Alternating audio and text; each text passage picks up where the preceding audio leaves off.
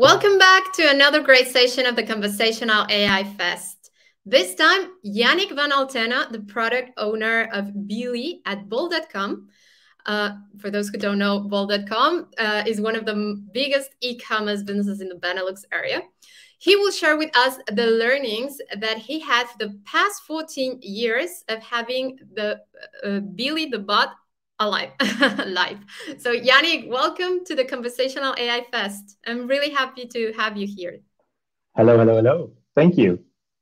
I'm actually i'm personally looking forward uh, for your uh, presentation and for your learnings about billie. So please go ahead. Thank you thank you.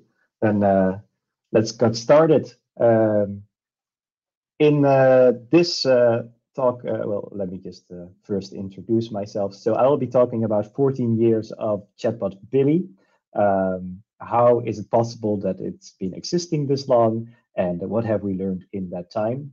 Um, as said before, bol.com or bol.com or however you want to say it uh, in your language um, is an e-commerce store um, we're currently uh, very good at holding of Amazon in the Benelux, so it's a good uh, place uh, to be.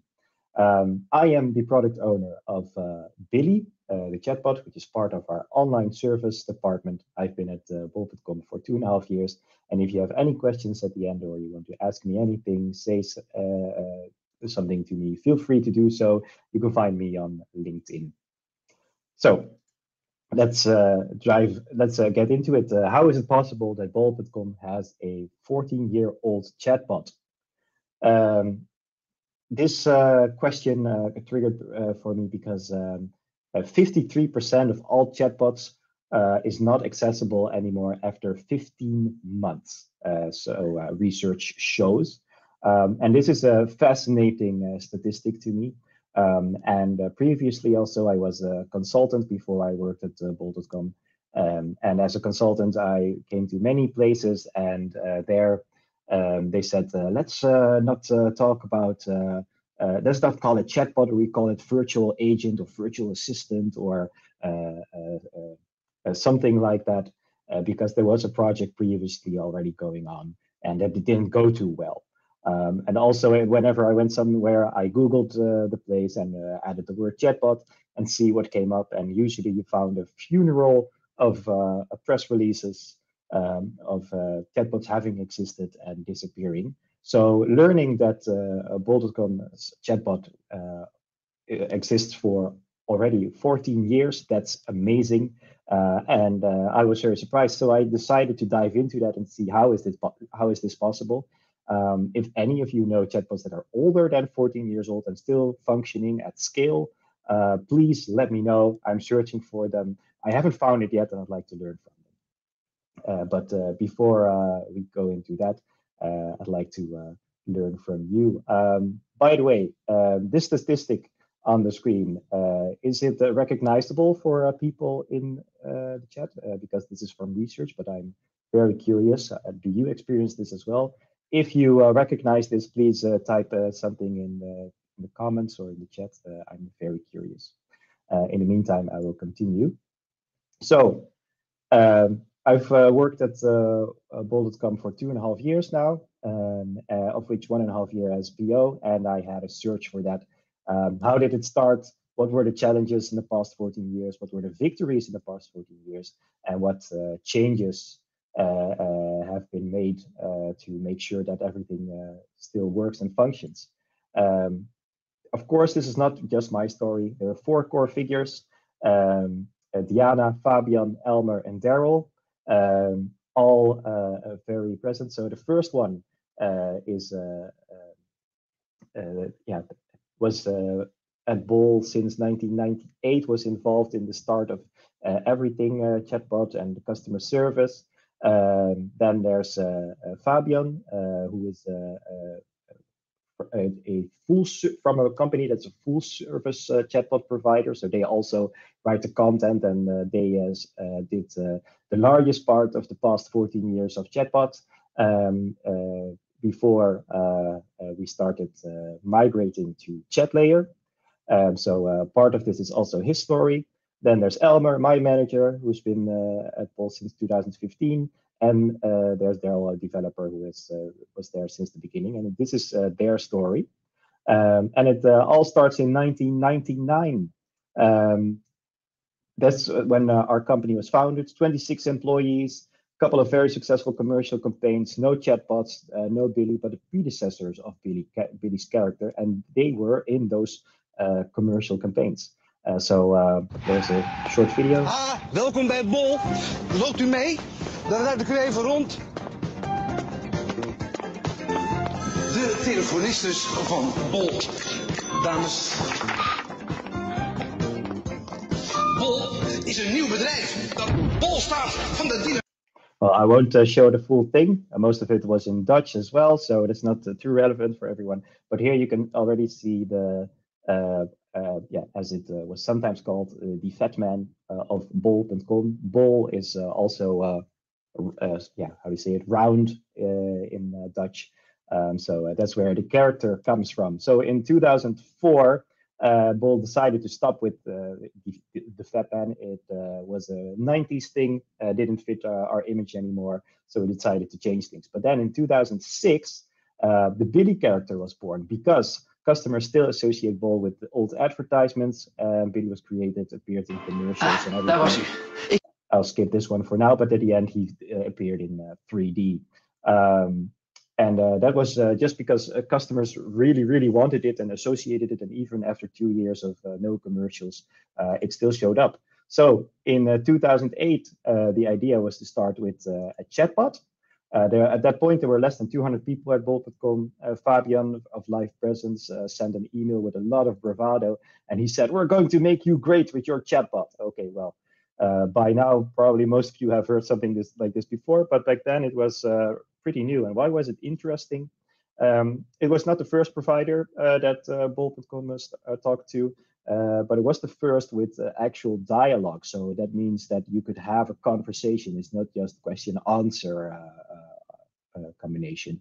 it was a small, highly entrepreneurial and flexible company, and even their technical brain sat at the table to talk with us. Um, maybe that sounds familiar to you because we had the same feeling with uh, Chatlayer, and that's uh, in the end why we also chose for Chatlayer. Uh, so, learning number one: find a partner that suits you as a company. And for us, it didn't suit to go with uh, the uh, extremely large uh, um, multinationals because we felt that we were a number in that sense. And here we could actually sit at the table and talk with each other. So then we went live. Apologies, I see I forgot to translate something. Uh, on the 4th of December 2008, one line of JavaScript uh, just loaded uh, uh in, even though we had 25 developers at the time. Uh, no technical links. We only uh, observed customers and wrote conversations based on that. It was a lot simpler than today. You ordered something on Friday, you got it on Monday. nowadays, you have way more delivery options. So our content was relatively doable. There was no customer research, but it was still very personal. Um, the first name was Chatbot uh, until um, uh, uh, our marketing department said, no, you have to call it Billie because that's what people really, really like, uh, which uh, in the end was a genius move because that made the adoption uh, way easier. Um, and that's how it went live on the 4th of December 2008. So if you're Dutch, you might recognize this as one day before a giant holiday called Sinterklaas or Saint Nicholas um, which is uh, the Dutch version of uh, Christmas, you could say. Uh, we also celebrate Christmas here, but there are two large things, and many people order things for that. So one day before that happened, this went live. Um, we're never going to do something like that again, but uh, uh, it just shows it goes to show um, if you want to, you can uh, do it and see what happens. I very like much like that idea. Um, what, what was interesting is on December 6th, after the holiday, people wanted to return items, and there was no content for that. Um, but uh, uh, still, uh, uh there were thousand chats a day, and uh, uh, I see I forgot what the automatic translation didn't take this off. But on the 26th of December at Christmas, there was another how do you say it fire drill. See, is it possible to actually survive this? So two learnings: Chat is easily accessible. People are going to talk about everything um, because uh, they wanted to return items. Never prepared for that. Uh, but it's an open field. People are going to say everything that they want. So you have to prepare for that. And starting small works. Um, just uh, go for it. So the way we did it then, we'll never do it again. Uh, that's uh, what uh, the people back then said. Then uh, in 2009, Windows Live Messenger, we tried uh, some stuff on that, mostly for marketing, but it no longer exists. And why? Uh, it wasn't a success because it was two different part, departments working on it. So you had marketing and there's customer service, but it wasn't the same type of content. So on Windows Live Messenger, you had sales um, uh, but uh, customer service, you only had customer service. So you had two different departments, but it was still the same customer, meaning that we got the wrong questions on the wrong place. So that's uh, something uh, to learn from. Please remember, anything you interact with is always the same customer. Then 2010 and forwards, our golden years. Uh, we had positive noises in the media, uh, so many articles written about our chatbot, which was beautiful um, where people said Billie really makes a difference. Uh, there was a lot about Billie's humor, and we had an example function apparently for other companies because other companies started copying the way we did things, uh, which was fascinating. Uh, but it also uh, was something that we learned from because uh, here's the learning: external feedback helps assess success, uh, which is yeah we we didn't always feel it on our own internally, but looking outwards and hearing from others that really helped. Um, and what uh, also made things a lot easier is uh, we had a young and digital savvy audience because we're a web shop. Um, we had a higher adoption rate. So um, in regards to our external partner, Live Presence, back at the time, what did we learn? Good cooperation uh, was uh, important. So the customer was always central. Uh, you always had the option to escalate to a person. Uh, we noticed that at uh, the external partner, we weren't just a number, they were actually interacting and talking uh, to us, and we're very happy with that. Uh, so that's uh, something that we learned and decided, okay, we're continuing with that with uh, our interaction with ChatLayer. That's what we're looking for. Um, we were looking for, they were very flexible and were thinking along with us, and that's also what we know right now. And they focused on the highest quality, um, meaning that in all of this, numbers weren't everything. Um, of course, uh, they could show, uh, uh, uh, yes, everything's going really well, and here's your resolution rate, and uh, those are great numbers. Um, but um, uh, yeah, it, it's not what in the long term helped keep the relationship central and our chatbot live in that sense. Um, because we also noticed that we could really grow together with this, and we both had to focus on the customer. There were some rituals, weekly meetings, reports. Each milestone was celebrated with cake, and we discussed and challenged uh, cases. Uh, so uh, every week, uh, try a new uh, thing. So celebrate with cake, big learning, and stay in conversation about the customer. Because every time we just uh, tried a new subject, a new topic, and see how does that go, um, just to really understand and challenge ourselves in making something good. Then 2015, we were stuck a bit because uh, uh, except for content updates, there were no developments. We had seven years of Billie at that time, which is a very rare thing within Bol.com that a service exists that long. And we were thinking, are we just innovating to innovate, or what what is happening? So we had to, to get ourselves out of that. So uh, keep challenging uh, yourself was a learning uh, in there um, instead of saying, seeing, oh, everything's going right, good feedback, and then what? Um, in 2016, there came an email. Um, because of the time, I won't read all of it uh, out, but this was an email by uh, one of the managers back then, a new manager. Uh, he said, uh, uh, for Billie, uh, I'm actually not that positive because it, remains impersonal. And if Billie can't help, we can't score anyway. can't we just turn it off for a week based on an A-B test and see what happens? So it was almost the death of Billy. So uh, what were the saving graces? My new manager, Elmer, who uh, just came from another company called Ziggo, where he killed chatbot Tess, um, but uh, then came to here uh, to us uh, and then was manager of uh, our new chatbot. So Fabian from the externals company, he saved the day. He could really show, but these are the numbers, and this is what it's going to cost you um, if you uh, remove it. And this is what is happening to the, the customers. So that was amazing. So what were the two learnings? Provide a strong story and back it up with numbers because instantly the idea of killing uh, Billie was uh, shut down because the story was just really good and we could tr truly show um, how well things were going. Um, and everyone in the team could do that. So even today, every time I try to uh, have my team be able to um, uh, tell our story and back that up with numbers if necessary. Exactly how are we helping people? How does it? What does it look like? What if we would uh, remove it? Because uh, I can already tell you, um, if we were to do that, there aren't enough people that we can hire to take over the work that our chatbot does these days. Um, there was another rescue. Customer service began to change, and this is uh, a little bit uh, in relation to what I just said, because uh, in this time, these years, uh, the idea was, especially with the customer service everywhere, the industry, the idea was to spend two minutes per customer and then uh, call it, uh, then and stop it, and that's the end of the call. We didn't want that. We wanted everyone to be able to talk to our customers for as long as needed to really solve the problem. Um, and uh, we didn't want those two minutes per customer.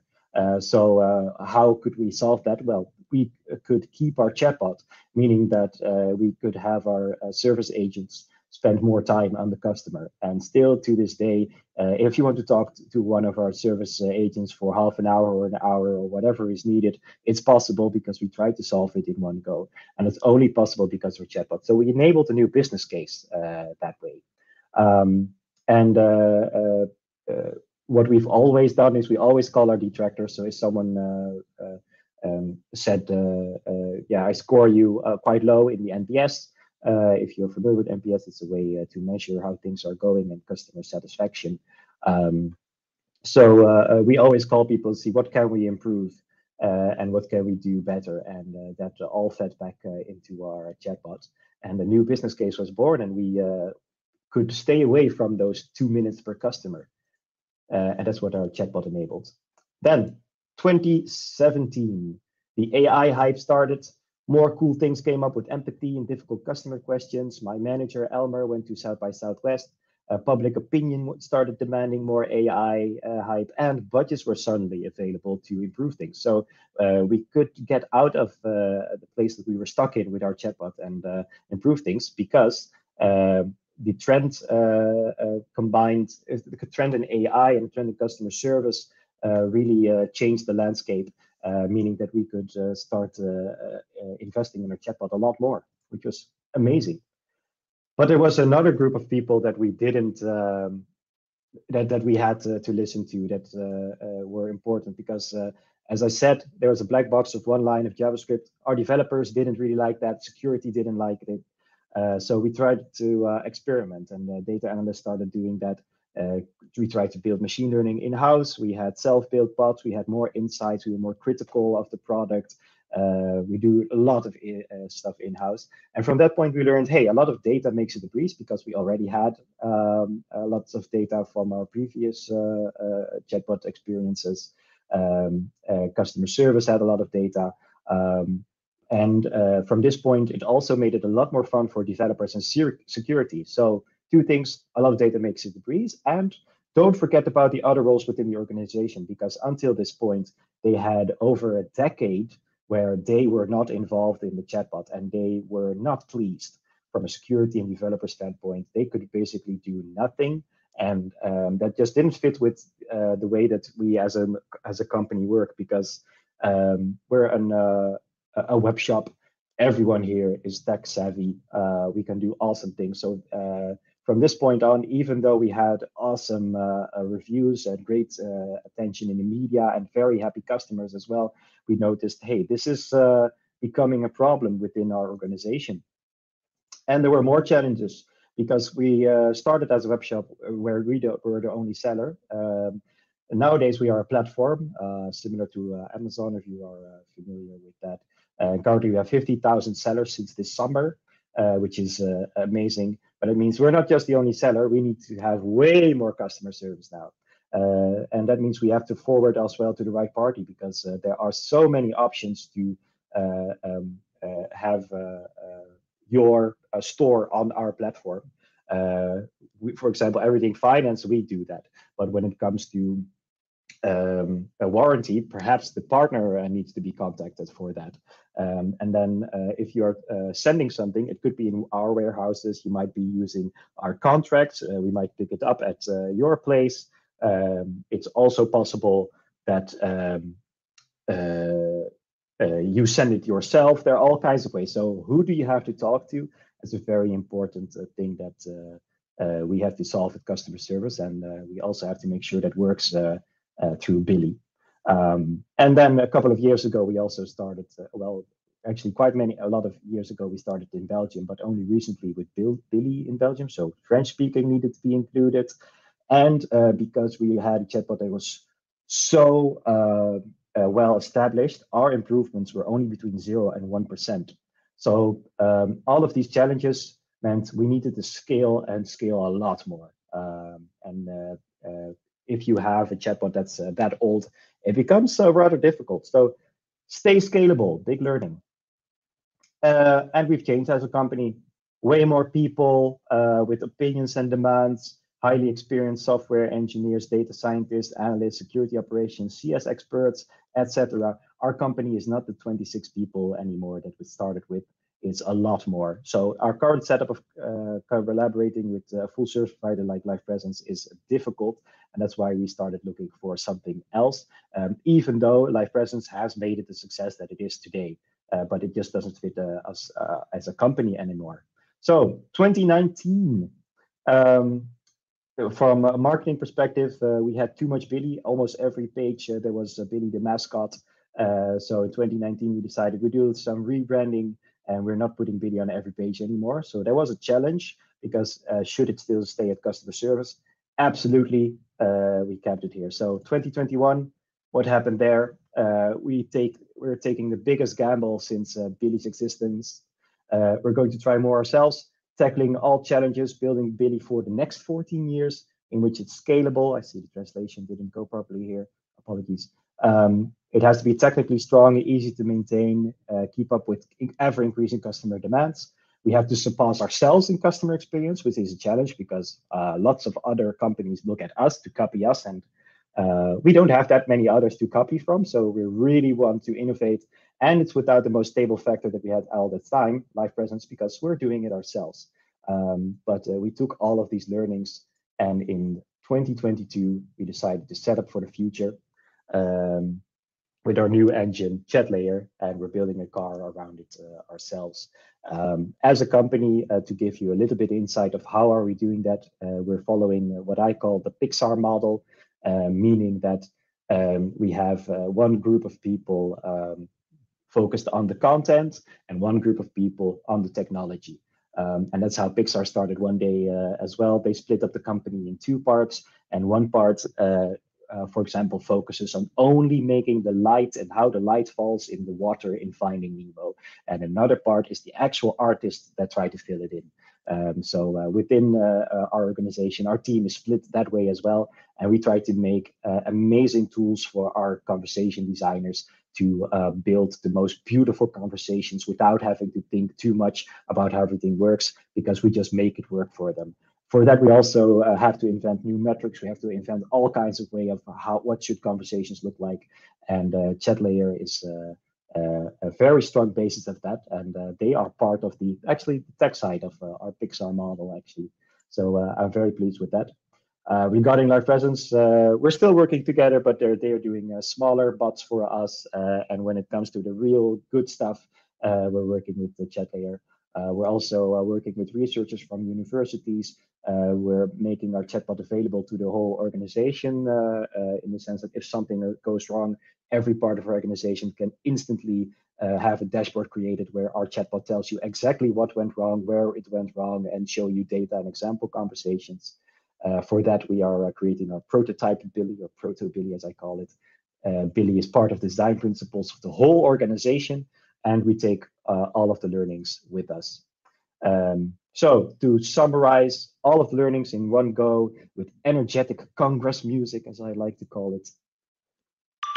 First of all, choose a recognizable point of contact as an avatar. And for us, Billie already existed find a partner that suits you, that really listens and talks to you.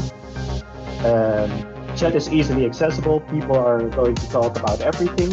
Um, so keep that in mind. Starting small, it works. Just do it, and you will see where uh, the things you are missing are. Um, if you have two different departments working on chatbot, it's still the same customer. Keep that in mind. Um, sometimes you uh, are blind. External feedback helps you assess that success. Uh, but uh, don't forget, numbers aren't everything. It's all about the customer and the story. Um, which, if it's so successfully, you have to celebrate with cake. That's the biggest learning and my favorite one. Um, stay in conversation about the customer as well. Uh, try to see the situations. Talk to your customer. Uh, and it helps you provide a very strong story. So whenever someone uh, challenges you, you can uh, tell that story and you can back it up with numbers. Um, it uh, could enable new business cases for you, so keep that in mind. Things that previously weren't possible. Uh, sometimes uh, you can uh, go onto a trend. It might help you uh, obtain more budget. Um, if you uh, want to make things easier, collect data. It's customer service. You probably have all the data that you need. Um, but don't forget the rest of your organization. Everyone needs to like it. And don't forget the future, because at the end, you have to stay scalable. Um, so learn from your past, set up your team and chatbot for the future. And uh, that's it. Thank you so much for your attention. Wow, what a journey of Billie at Bol.com, Yanick. Thanks a lot for sharing those learnings. Very insightful. Um, we have quite time for um, there's several questions uh, for you, Yanick. Uh, are you ready? yes. Perfect. So Karen Verma says, in your experience, do users actually want or need personalized multi-turn dialogues, or do they just need transactional quick conversations? Ooh, that is an interesting question. Um, so it really depends on the use case I have noticed. So for example, in the past, um, uh, I worked uh, as a consultant for an insurer uh, in a process where people just wanted to get things done very quickly.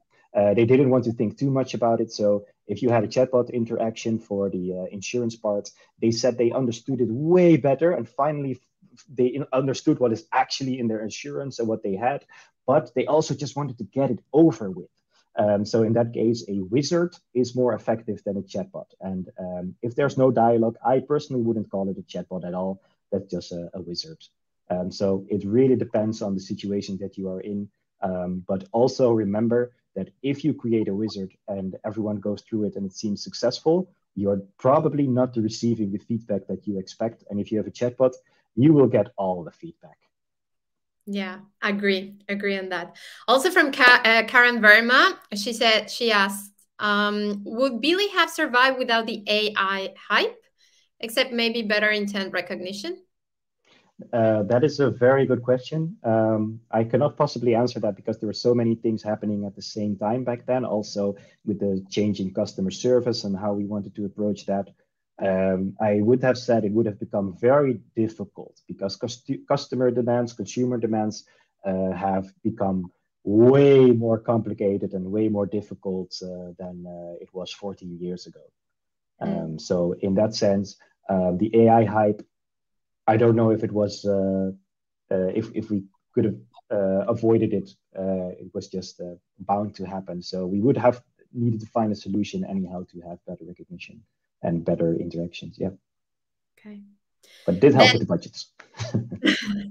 um, Marinella Potter asks, other than improving customer service quality and freeing up time for your agents, what advantages do you see in implementing Billie?